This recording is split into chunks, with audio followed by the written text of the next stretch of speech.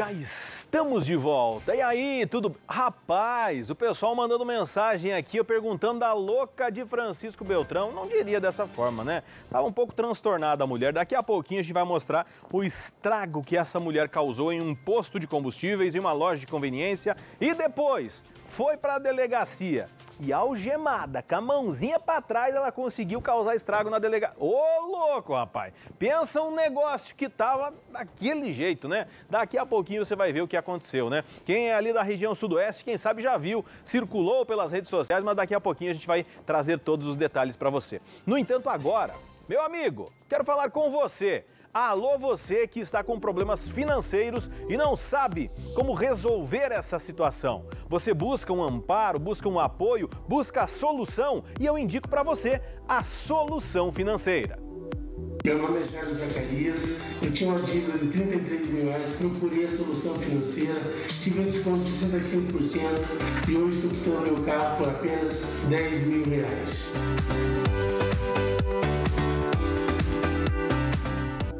Olha, você que financiou o seu carro, moto ou caminhão, mas percebeu que está pagando por dois ou até três, a solução financeira vai te ajudar. Dê um basta nos juros abusivos, nas ligações de cobrança, nas ameaças de busca e apreensão. Envie agora mesmo o WhatsApp para o número que está aí na sua tela, 45 999770389 e fale com um dos especialistas. Saiba ainda como reduzir a sua dívida em até 70%. A análise é completamente gratuita e o desconto é garantido em contrato. Mas para isso, basta você dar o primeiro passo e entrar em contato. Repito, o WhatsApp está aí na sua tela: 45 99977 0389 Solução Financeira. Seguindo por aqui, informação que pede passagem na tela do Brasil Urgente. Ao vivo, faço contato com ele, Júnior Rocha, para falar sobre a morte de um homem em frente à casa dele aconteceu em Foz do Iguaçu e o Júnior vai trazer esses detalhes, onde exatamente de Foz do Iguaçu que essa situação macabra, eu diria, aconteceu. Júnior Rocha. Exatamente, já como você muito bem frisou, essa situação ocorreu aqui na fronteira no fim de semana, mais precisamente ali no bairro Portal da Foz, ou seja, recebe esse nome por ser um dos primeiros bairros aí, logo na entrada de Foz do Iguaçu, muito próximo da rodovia federal da BR-277. Essa situação ocorreu então nessa região aqui de Foz do Iguaçu, segundo informações repassadas por populares que estavam ali com a vítima no momento do ocorrido, um indivíduo aparentemente chegou ali próximo da residência da vítima, localizou onde ela estava, ou seja, sentada em uma cadeira ali. Um homem estava sentado em uma cadeira juntamente com amigos e familiares. E então o atirador ele chegou meio sorrateiro, se escondendo entre um carro e outro que estava na frente da residência da vítima, até que conseguiu então localizar a vítima, chegar mais próximo e efetuar diversos disparos de arma de fogo. Essa vítima então foi morta e um homem de 51 anos foi morto na sua residência, na frente de amigos e familiares. Após realizar os disparos, o atirador fugiu em rumo ignorado. Não se sabe aí ainda se ele teve o apoio aí de uma moto até mesmo de um carro no momento da fuga. Investigadores da Delegacia de Homicídios foram até lá, assim como a Criminalística e o Instituto Médico legal. Vale frisar que até os socorristas do SEAT foram até o local justamente para prestar esse atendimento a essa vítima de disparos de arma de fogo que foi baleada ali. Porém, os socorristas só puderam então confirmar o óbito. Vale frisar ainda que após o local ser tudo periciado, o corpo deste homem foi encaminhado até um instituto médico legal aqui de Foz do Iguaçu, até o IML da fronteira. Volto com você no estúdio, Jean. Obrigado, Júnior Rocha, pela sua informação e, é claro, a gente espera que tudo seja resolvido o mais breve possível. Esperamos ter é, os detalhes para repassar para você aí de casa também o mais brevemente possível, justamente porque toda pessoa que se vai de uma forma bruta como essa acaba deixando revoltada a família que espera por respostas também, sempre, com certeza. Presta atenção nessa história que vamos trazer nesse exato momento. Um homem portador de necessidades especiais, morreu em um incêndio que ocorreu em Foz do Iguaçu. A triste coincidência é que ele morreu exatamente no dia do aniversário dele. Madrugada de hoje, 58 anos. Você vai ver os detalhes da reportagem na tela do Brasil Urgente. Essas são imagens do momento do incêndio. Fogo consumiu rapidamente toda a casa. Os bombeiros conseguiram controlar a situação após quase tudo ter sido basicamente destruído. Após o incêndio, nada infelizmente foi possível resgatar de dentro da residência. Foi tudo destruído e é possível perceber também que boa parte da estrutura também foi prejudicada. Aqui morava um casal. O homem, infelizmente, não conseguiu sair da residência e acabou morrendo carbonizado. O corpo foi recolhido e encaminhado até o Instituto Médico Legal aqui de Foz do Iguaçu. Já a mulher conseguiu fugir por uma das janelas de um dos cômodos da residência. Ela também se queimou e inalou bastante fumaça. Por conta disso, foi encaminhada até uma unidade hospitalar aqui mesmo, do município de Fronteira. Segundo informações repassadas por um dos vizinhos, o fogo teria se iniciado após uma bituca de cigarro ter caído no sofá onde o homem estava enquanto assistia TV. Neste momento, a mulher dormia no quarto. Que situação triste, lamentável. É mais uma vida. Uma pessoa que tinha algumas necessidades aí, não era limitado na sua locomoção de um modo geral, mas tinha enfrentava sim algumas dificuldades e dessa forma você acompanhou que não sobrou nada dessa casa. A mulher sofreu ferimentos também, mas esse homem perdeu a vida exatamente no dia do aniversário dele completaria hoje 58 anos. E por volta das três e meia da manhã, um incêndio destrói a casa e acaba com a vida dele. Triste coincidência. Júnior Rocha, que fez essa reportagem, ele volta para a tela do Brasil Urgente ao vivo neste momento, porque ele vai nos explicar o que é que aconteceu em um posto da PRF, mas não em, em Foz do Iguaçu, desta vez em Céu Azul, Júnior Rocha. O que, que aconteceu por lá? Exatamente, já como você muito bem frisou, essa situação ocorreu no posto de fiscalização da Polícia Rodoviária Federal em Céu Azul, aqui no estado do Paraná. Policiais rodoviários federais abordaram aí um veículo Gol. É, acharam muito suspeita a atitude tanto do motorista quanto dos dois passageiros que estavam ali nesse veículo. Em uma revista minuciosa, então, no veículo foram encontradas aí duas malas e com diversos eletrônicos. Em uma revista pessoal realizada aí nos indivíduos que estavam nesse carro, também foram encontradas diversas mercadorias presas ao corpo, principalmente aí na região da cintura, das pernas e também ali do tornozelo. Diante dessa situação, então, todas as mercadorias oriundas do Paraguai, eletrônicos, foram apreendidas essas mercadorias, os indivíduos e também o veículo e as mercadorias foram todos encaminhados até a Receita Federal do município de Cascavel. Ah, que situação, né, Júnior Rocha? Você que está me assistindo nesse momento acompanhou também as imagens aí do momento em que esse homem era é, fiscalizado dessa forma. A gente agradece a sua participação, mas voltamos a reforçar que é muito difícil passar com qualquer produto escondido. Primeiro, que se a pessoa não tem muita experiência, muita experiência aí, vai lá, vai, sei lá, vai levar um, alguns celulares, esconde aqui, coloca ali. Ah, vai ser abordada, rapaz, tremeu, gaguejou, a polícia já vai tentar entender o que está acontecendo. Ô filhão, vem cá, vamos conversar. Por que, que você está nervoso? Explica aqui. É, a polícia conversa. Tem que ser desse jeito, né? Vem aqui, filhão, conta pro pai o que está acontecendo aí. Ah, rapaz, deu ruim, né? Não pode levar? Tá levando por quê? Ah, se explica aí.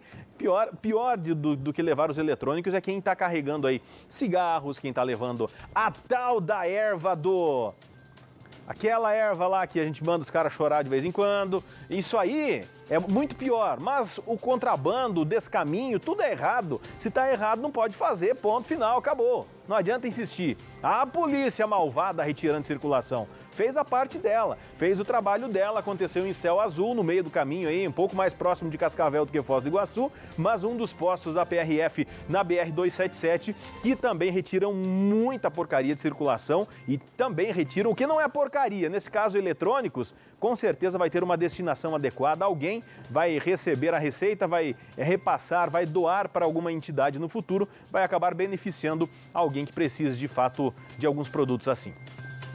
Vamos dando sequência? Ó, eu falava lá de Francisco Beltrão, pontualmente 6 horas, presta atenção, hein? Gente, Uma situação que aconteceu em Francisco Beltrão neste final de semana, ela está repercutindo na internet. Uma mulher visivelmente descontrolada, ela adentrou a um posto de combustíveis e danificou praticamente toda a loja de conveniências. Os prejuízos chegam, sabe a quanto? Chuta, arrisca, mais ou menos 70 mil reais. Dá uma olhada aí na reportagem da nossa equipe de Francisco Beltrão. Uma ocorrência chamou a atenção do setor policial aqui em Francisco Beltrão neste final de semana. A Polícia Militar foi chamada para atender uma briga generalizada num posto de combustíveis na Avenida Tílio Fontana. Porém, quando os policiais chegaram até o local, foram informados pelo atendente da loja de conveniência do posto que uma mulher estava embriagada e ela quebrou diversos objetos, como os computadores, as geladeiras das bebidas e as garrafas de vodka, uísque e promovendo um verdadeiro quebra-quebra. A equipe da Polícia Militar usou técnicas de negociação até que conseguiu acalmar a mulher. Ela foi encaminhada para o setor de carceragem do DEPEN. Lá, ela voltou a ficar descontrolada e destruiu a porta com chutes, mesmo estando algemada a uma barra de ferro. Toda a ação foi registrada pelas câmeras de segurança, tanto no posto quanto no DEPEN. O gerente do posto disse que o prejuízo estimado é de 70 mil reais. A Polícia Civil disse que vai instaurar um inquérito para apurar as responsabilidades da mulher diante desse quebra-quebra. A polícia disse também que depois que ela acordou, não recordava de nada que tinha acontecido horas antes. De Francisco Beltrão, Everton Leite. Obrigado, Everton Leite. Obrigado a toda a nossa equipe aí de Francisco Beltrão também. Rapaz, aí depois que acordou não lembrava mais. Ó, eu já tomei uns goró aí uns tempos atrás, porque agora, agora eu só tomo suco. Mais ou menos assim, né? Também, vinho, vinho também, também. É, Sexta-feira eu tomei vinho, verdade. E seguinte, é, o que que acontece? A pessoa diz que não lembra. No... Mentira, rapaz, bêbado. Bêbado que diz que não lembra, além de pinguço, é mentiroso. Vamos, vamos, vamos quebrar tudo, vamos. Ei, Marcelinho, esse, esse é bom, né? O que tá no som aí, rapaz? Ô, louco. E aqui ela tá quebrando é na delegacia, rapaz. É algemada ali, ó, a mãozinha pra trás, algemada e quebrando tudo. Ô, mulher nervosa, né? Mas tudo bem, agora vai ter que se entender. Como eu disse lá na chamada do programa, o valor do prejuízo dá para comprar um terreninho nas beiradas da cidade aí, tem certeza. 70 mil reais, rapaz. Mas olha, 70 mil reais compra terreno em cidade maior, inclusive Cascavel, Foz do Iguaçu, sou capaz de apostar.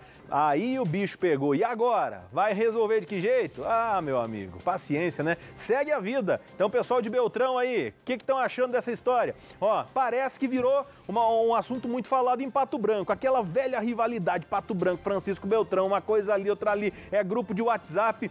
Manda mensagem para mim aí. Ô, pessoal, põe na tela aqui pra gente o nosso WhatsApp também. Francisco Beltrão, Pato Branco, o que, vocês estão achando dessa história aí? Quem que tá se dando melhor nas notícias? Daqui a pouco tem informação de Pato Branco também, né? Não teve quebradeira, mas infelizmente caso de polícia por lá também, beleza? Vamos seguindo? Agora vamos deixar a gente tira uma, uma, certa onda aqui, o assunto é sério com certeza, mas o assunto que vamos abordar nesse exato momento é um assunto que mexe comigo, inclusive. Mexe comigo enquanto pai, mexe comigo enquanto ser humano, mexe comigo enquanto cidadão, porque duas meninas morreram ao serem arrastadas por uma tromba d'água. Aconteceu em um riacho no fim da rua São Gabriel, na região do Jardim Alvorada. Aconteceu ainda na tarde de sábado. Quatro crianças brincavam nesse riacho quando, rapidamente, o nível da água subiu devido à chuvarada que estava acontecendo por ali, né? Uma menina de 12 anos foi levada pela força da correnteza e acabou sendo encontrada já sem vida. Durante a madrugada de domingo, o Corpo de Bombeiros encontrou uma outra menina de apenas 11 anos. Ela também foi encontrada enroscada em uma árvore. Olha, cerca de 7 quilômetros para baixo do local onde teria desaparecido. Que triste. E o repórter Ismael Elias Vem para a tela do Brasil Urgente para contar os detalhes. Nas redes sociais, o lamento da partida repentina das crianças de 11 e 12 anos. Elas brincavam nesse riacho quando uma enxurrada levou elas para longe do local em que estavam. Elas se afogaram e morreram. O trecho do acidente aconteceu entre os bairros Brasmadeira e Alvorada. Testemunhas relataram que eram três crianças que brincavam no riacho, um pouco mais acima, perto de uma ponte. Quando a enxurrada veio, uma das crianças saiu e avisou a família. As outras duas não foi possível salvá-las. Uma delas foi encontrada já morta, sem vida, nesta região, aproximadamente 150 metros à frente. O corpo de bombeiros fez manobra de reanimação, mas apenas pôde constatar o óbito. Já outra criança foi encontrada em outro ponto, a partir deste local. Cabeça d'água, tromba d'água, como popularmente é conhecido, é um fenômeno meteorológico onde tem um aumento muito repentino do volume de um rio, de um riacho, de uma sanga, né, em função de chuva, principalmente na região de nascente, na cabeceira do rio, né? Então não necessariamente está chovendo sobre o rio, mas numa parte superior, e isso aumenta o volume da água. Então faz com que todo aquele volume de chuvas é, convirja, né, para que para que desça o, o, o, caminho do rio. E muitas vezes um rio que é calmo, que é perene, que é raso, se torna agressivo em decorrência desse aumento repentino de água. Foi um, o caso registrado na ocorrência de sábado, onde tivemos duas vítimas fatais. Tratava-se de crianças né, brincando num, num riacho pequeno, né? Tem uma profundidade máxima ali de 30 centímetros e realmente as condições climáticas não estavam não favorecia a chuva no local, mas em outras partes da cidade estava chovendo e isso fez com que esse fenômeno acontecesse e a força das águas acabaram arrastando essas crianças e pegam-os de certa forma desprevenidos. Este gráfico mostra o local em que a segunda criança foi encontrada, mas já estava sem vida. Uma distância de 7 quilômetros do primeiro ponto, onde a criança de 12 anos foi localizada. As meninas foram veladas e sepultadas em Cascavel. E eu já vi muitos comentários em grupos de Facebook e WhatsApp. Gente, por favor, não sejam. Como que eu posso dizer? Me fugiu a palavra. Não vamos procurar culpados. Essa família já está sofrendo o suficiente. Ninguém precisa ficar apontando ou responsabilizando alguém. A dor maior que essa família poderia sentir, ela está sentindo. Perdeu duas filhas amadas, perdeu duas crianças. E aí? Nesse momento, os meus sinceros sentimentos a essa família que com certeza vai precisar de muita força para superar esse problema e para seguir seguir adiante a vida também. E eu sigo falando de situações complicadas porque um corpo em avançado estado de decomposição foi localizado na manhã de hoje. Aconteceu nas proximidades da BR-280, próximo à ponte do Rio Vitorino, em um córrego que é afluente do rio.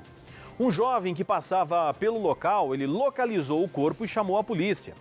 O rapaz falou com os colegas da imprensa, em especial os colegas do PB Urgente Sudoeste, e você vai ver agora o que foi que ele disse.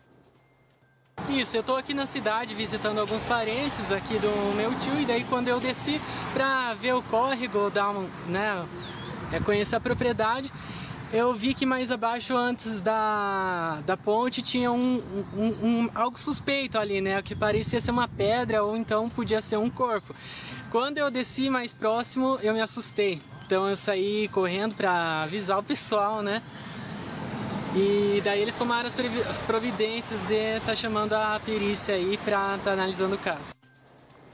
Olha, o Corpo de Bombeiros chegou a ser chamado para ver se havia qualquer possibilidade de resgate, mas infelizmente nada pôde ser feito e o próprio cabo do Corpo de Bombeiros ele traz mais informações do que foi que eles encontraram lá.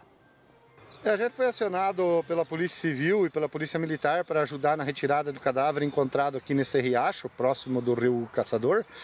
A gente chegou, é um barranco de aproximadamente 3 metros de altura. O corpo encontrava-se à margem, é, já fora da água, quando, quando o rio subiu, é, provavelmente trouxe esse corpo até esse local. E estado de decomposição já bastante avançado, então a gente teve que ter bastante cuidado para não desmontar a estrutura óssea dele, para que facilite o trabalho da, do legista. Então, um trabalho bastante difícil, complicado, local de, difícil de tirar, bastante trabalhoso. É, pela decomposição dele, não tem como avaliar a idade nem uma possível identidade. Não foi feito busca na roupa, ah, para isso ser feito já lá no ML, depois de um trabalho. Então, não temos como apurar quem pode ser e nem a idade. Mas um trabalho difícil, finalmente já agora encerrado, encaminhado ao Instituto Médico Legal de Pato Branco. Obrigado ao Leoni Antônio, nosso parceiro lá de Pato Branco, todos os colegas da imprensa também, enfim, todos que acompanham nossa programação no Sudoeste ou em qualquer um dos 166 municípios do nosso querido estado do Paraná, acompanhando diariamente o Brasil Urgente Regional. E olha só, BPFRON em ação na fronteira. Isso ocorreu agora na tarde de hoje em Foz do Iguaçu. Júnior Rocha volta ao vivo para a tela do Brasil Urgente, vai trazer mais informações. Parece que teve gente presa, teve droga e arma também. É isso mesmo, Júnior? Explica para gente. Exatamente, João. O Batalhão de Polícia de Fronteira, BPFRON, da Polícia Militar, em ação na região de fronteira, principalmente aqui em Foz do Iguaçu. Nessa situação, os policiais então estavam realizando um patrulhamento de rotina na região ali da Vila Portes, quando em um estacionamento que na região ali da Vila Portes, muito próxima inclusive da Ponte Internacional da Amizade, tem muitos desses estacionamentos. Em um desses estacionamentos foi encontrada aí uma certa quantidade de maconha, muito dinheiro, diversas notas de 200 reais, muita seda também, além, é claro, de um revólver. Toda essa situação foi encaminhada até a sexta subdivisão policial aqui de Foz do Iguaçu. E isso, é claro, com um detido, o próprio dono, então, deste local, deste estacionamento ali mesmo da região da Vila Portes. Segundo informações, aquilo tudo não era dele, porém, ele é o proprietário, então vai ter que arcar agora com as consequências, possivelmente responderá aí por tráfico de drogas e também, é claro, pela posse irregular dessa arma de fogo. Volto com você no estúdio, Jean. Obrigado, Júnior Rocha, pelas informações. Aí, nesse caso, ao que tudo indica, o, o grande problema está no, na, na, posse da arma de fogo, né? Então, eu insisto e, e, repito várias vezes aqui que a pessoa pode ter uma arma de fogo, mas precisa cumprir uma série de requisitos. E nesse caso, se a pessoa não tinha uma passagem pela polícia, agora tem, lamento, mas a posse da arma de fogo, ao porte da arma de fogo, é, vai ser necessária uma investigação profunda. Inclusive, se você pensa em adquirir uma arma, é bom que a sua ficha seja limpa, caso contrário, nem tente que não vai ter jeito, não vai conseguir também não. E na noite de ontem, a Polícia Militar, ela atendeu um chamado de uma dupla tentativa de homicídio. Aconteceu na Rua Vitória, no bairro Alto Alegre. Um indivíduo, ele atirou contra dois homens em situação de rua. Um deles foi atingido na boca e outro de raspão na cabeça. O Ismael Elias vem para a tela do Brasil Urgente para trazer mais informações. Você acompanha agora. A polícia ainda conta com denúncias para chegar até o atirador. O caso ocorreu na Avenida Assunção com a Rua Vitória, na região central de Cascavel. Segundo as informações da Polícia Militar, o homem armado chegou até o local onde os moradores em situação de rua estavam. Os disparos foram realizados. As investigações agora seguem com a polícia. Uma das vítimas foi atingida na região da boca. Já o outro, rapaz que estava com esse morador de rua, também foi atingido, de raspão na região da cabeça. Foi uma denúncia passada para nós, né, que houve disparo de arma de fogo na via pública, na Rua Vitória, é, envolvendo um morador de rua. É, no local, um indivíduo relatou que um homem de máscara chegou no local e realizou dois disparos. E daí um indivíduo já ferido no local, sendo atendido pelo SIAT, não conseguiu falar com a equipe, somente o nome dele, mas se trata de um morador de rua que fica ali nas proximidades. E a outra vítima só estava dormindo também ali do lado dele, foi atingida de raspão na cabeça e ainda há relatos que o indivíduo é, saiu em fuga à rua Avenida Assunção. No mais, a equipe do, da Delegacia de Homicídios compareceu e é, por enquanto é isso que a gente tem de informações. Denúncias e qualquer outra informação pode entrar em contato com a gente no 9097. No princípio ele estava mascarado né, e com roupas escuras, daí ficou é, difícil a identificação pela noite. Assim que o quadro clínico deles melhorar no hospital, eles devem prestar depoimentos, a fim de que os investigadores da Delegacia de Homicídios de Cascavel possam localizar e prender o atirador. Algumas informações chegaram para a polícia, mas a polícia conta com a ajuda da população. E olha só, se você tem qualquer informação que colabore com a polícia, você que mora no entorno, ali nas proximidades da Rua Vitória, que porventura também tenha câmeras de monitoramento no comércio, na sua casa, verifique. Quem sabe você consiga ajudar a polícia a identificar essa pessoa. Porque independente do que você pensa ou deixe de pensar com relação às pessoas que vivem na rua, nada justifica. Ninguém tem o direito de tirar a vida de ninguém.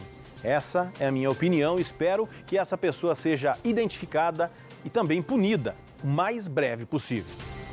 E olha só, Guarda Municipal prende suspeito de furtar objetos de uma residência em Foz do Iguaçu. Júnior Rocha volta para a tela do Brasil Urgente para trazer mais informações a respeito deste caso ao vivo. Você explica para a gente, ô Júnior, Guarda Municipal envolvida e o bicho pegou também, né? Exatamente, já isso porque esse indivíduo aí acabou reagindo, resistindo à prisão. Foi necessário aí, é claro, o apoio de mais uma viatura, ou seja, duas equipes precisaram ali é, atuar nessa situação diretamente, justamente aí para então controlar um indivíduo que estava ali bastante agressivo. Ele foi encaminhado até a sexta subdivisão policial, juntamente com os objetos que ele portava ali, objetos esses de uma residência que fica localizada na região central aqui do município de Foz do Iguaçu. Segundo informações repassadas inclusive pelos guardas municipais, esse indivíduo faz a utilização aí então de substâncias psicoativas, ou seja, ele é usuário de drogas, crack, maconha, o que der ali para ele usar, ele vai usar. Então, possivelmente, ele foi furtar justamente para manter o vício. Vale frisar que ele já tinha outras passagens pelo meio policial pelo mesmo crime, ou seja, por furto. Ele foi então enquadrado aí, levado para a sexta subdivisão, como eu afirmei, e agora possivelmente responderá pelo furto e também por resistir à prisão. Volto com você no estúdio, Jean. Obrigado, Júnior Rocha, pela sua participação. Rapaz, tava brabão então, né? Com... Tem gente que toma uns goró e fica nervosa. Esse aí, ó, deu uma cheirada, uma fumada, comeu alguma coisa, né? Deve ter fumado um cigarrinho estragado aí, mofado. E achou que podia bater de frente com a Guarda Municipal, que aliás é muito competente. Nosso abraço a todos os guardas municipais de Foz do Iguaçu pelo excelente trabalho que tem realizado todos os dias na proteção da população da fronteira também. Informação vem chegando, vamos falar de trânsito. Um capotamento foi registrado por volta das 9 horas da manhã de hoje. Aconteceu na PR 182, entre Planalto e Realeza, no sudoeste do estado. Um homem ficou em estado grave e precisou ser socorrido pelo SAMU, mas infelizmente não resistiu aos ferimentos e acabou morrendo no hospital. A Polícia Rodoviária Estadual esteve no local e registrou a ocorrência. O veículo com placas de Planalto foi rebocado ao pátio da polícia e, segundo informações colhidas no local do acidente, o condutor foi ejetado do carro durante o acidente. Olha só, sobrou muito pouco desse carro. Nosso muito obrigado aos parceiros aí do Sudoeste também pela parceria, cederam as imagens e também as informações para você aqui na tela do Brasil Urgente. Abraço para o Anderson e toda a equipe que acompanhou de perto esse gravíssimo acidente. Mais um, mais uma vítima, mais uma pessoa que se torna parte das estatísticas negativas do trânsito nas nossas rodovias. Vamos seguir falando de trânsito, mas agora novamente com ele, Júnior Rocha. Quero saber o que é que aconteceu em Foz do Iguaçu. Mais um acidente com óbito, lamentavelmente. Registro feito também pelos nossos parceiros é, nas últimas horas. Aí, ô Júnior, quais as informações e que história que é essa? Parece que teve uma pessoa em estado grave e outra que perdeu a vida na fronteira. Exatamente, Jean, mais uma vítima fatal do trânsito em Foz do Iguaçu. Esse acidente ocorreu na região norte aqui de Foz do Iguaçu, mais precisamente na Avenida Tarquínio Joslim dos Santos. Avenida essa que passa ali pelo Jardim Universitário, em que está localizada a Unioeste, Unila, por exemplo, e passa também pela região é, do bairro Cidade Nova. É, segundo informações repassadas por populares, a própria Polícia Militar e também a criminalística que esteve no local, é, o acidente envolveu duas motocicletas. Uma mulher estava numa motocicleta de 125 cilindradas, uma mulher de 28 anos, e um homem estava numa outra motocicleta, uma CB1000, ou seja, de mil cilindradas. Esse homem então tinha 42 anos. As motos colidiram ali na avenida, o homem acabou morrendo, isso porque após a colisão o corpo dele foi projetado para frente, vinha um veículo que acabou passando por cima dele. Tudo foi muito rápido nesse momento, ele não resistiu aos ferimentos e morreu. Um homem de 42 anos.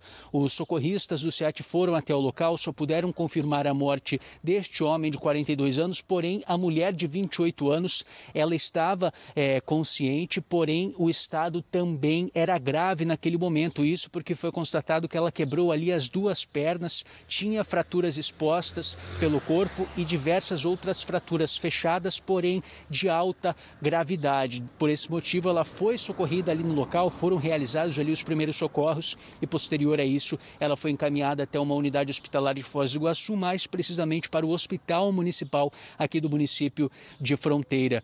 O corpo do homem foi recolhido após a perícia ali do local do acidente e encaminhado até o Instituto Médico Legal aqui de Foz do Iguaçu. Infelizmente, uma notícia trágica, mais uma vítima fatal, como eu disse, no trânsito em Foz do Iguaçu. Trânsito é um local que você precisa tomar muito cuidado, não exagerar na velocidade e sempre, é claro, utilizar de certa forma aí os meios para manter a sua segurança no trânsito, seja em rodovia ou até mesmo no perímetro urbano. Volto com você, Jean. Obrigado, Júnior Rocha. Realmente, quando envolve moto, rapaz, é, eu fico sempre com um pé atrás, né? Inclusive, eu postava no sábado o meu aniversário, né? Quem me segue nas redes sociais é, sabe que eu postei no, no sábado o meu aniversário de sete anos, porque eu nasci de novo justamente em um acidente de motocicleta que aconteceu no dia 30 de outubro de 2014. Sou muito grato por isso, mas infelizmente muitas pessoas não têm uma segunda chance, não conseguem seguir a vida, né? Nesse caso, não precisa dizer mais nada, né? Eu vou falar ainda de acidente de moto, porque um grave acidente foi registrado por volta do meio-dia de hoje. Aconteceu no bairro São Cristóvão, em Cascavel. Testemunhas relataram que carro e moto seguiam em sentidos opostos da rua Domiciliano Teobaldo Bresolim, quando o condutor do carro foi, foi fazer uma conversão para acessar a rua Estilac Leal. A colisão deixou o motociclista ferido com gravidade. Ele sofreu fratura exposta na perna e também fratura na mão. Olha, ele ainda precisou de atendimento dos socorristas e médico do CIAT. O motociclista de 30 anos foi levado para o Hospital Universitário de Cascavel. No carro, ninguém ficou ferido, mas fica aí o registro dessa situação, registro dos nossos colegas do portal Taroba News, inclusive atualizações e mais informações você acompanha acessando o portal tarobanews.com. 6 e 23 agora, boa noite para você que está chegando ao Brasil Urgente. Eu aproveito para trazer um recado, trazer uma dica especial para você. Ô meu amigo, você que está me assistindo, você que é engenheiro, arquiteto ou eletricista, você que talvez nem seja profissional dessa área, mas se tem bom gosto, tenho certeza que sabe que material elétrico é coisa séria também, né? Veja só esse recado da Andi e também da Maxiluz. Oi, gente, olha só, antes de comprar a iluminação da sua obra, entre em contato com a Andi Materiais Elétricos em Foz ou com a Maxiluz em Toledo. São lojas completas com produtos modernos, iluminação de LED em geral, lustres, ventiladores de teto, tomadas inteligentes para móveis, interruptores, torneiras elétricas e chuveiros. Aqui também tem uma equipe de profissionais preparados para te orientar e dar segurança à sua decisão. Iluminação é tudo, deixe seus ambientes muito mais bonitos e agradáveis. Ande Materiais Elétricos em Foz, Maxiluz em Toledo. Esperamos por você! É um recado especial para você. Abraço para o pessoal de Toledo que compra sempre na Maxi Luz. Abraço para você de Foz do Iguaçu que visita a Andi. Todo o pessoal sempre com aquele atendimento especial de primeira qualidade e a gente faz questão de registrar e mostrar para você aqui na tela do Brasil Urgente também. Vamos fazer o seguinte, obrigado para a galera, os nossos parceiros aí. Quase hora de mais um intervalo, rapaz. Agora às 6h20. Eu já vou pro intervalo, mas eu vou pro intervalo se eu mandar abraço. Tem abraço pra mim aí, ô produção, é, direção, quem que tá no comando? Estamos curtindo o programa Brasil Urgente com Jean Pereto, Dirce e Lindolfo. Alô Dirce, alô Lindolfo. Eu não sei onde vocês nos assistem, mas muito obrigado pelo carinho da audiência de vocês. Tem mais participação? Vamos ver aqui, ó. Põe na tela, por gentileza. Vamos lá. Olá, tudo bem, Jean? Sou de Francisco Beltrão, Paraná. Assisto todos os dias o seu programa. Mande um abraço para todos os beltronenses. Obrigado. Aristides é Krefka, rapaz, eu não tenho certeza do teu sobrenome. Oristides, eu não sei pronunciar o teu sobrenome, rapaz. Mas um abraço para você, para todos de Francisco Beltrão. A gente cutucou os beltronenses e os pato-branquenses, já apareceu, né? Aí sim, 6h25, um abraço para vocês que nos acompanham todos os dias por aqui. Eu vou para um rápido intervalo, daqui a pouquinho a gente vai trazer mais informações e vamos falar do preço da gasolina na Argentina. Permaneça conosco na melhor programação.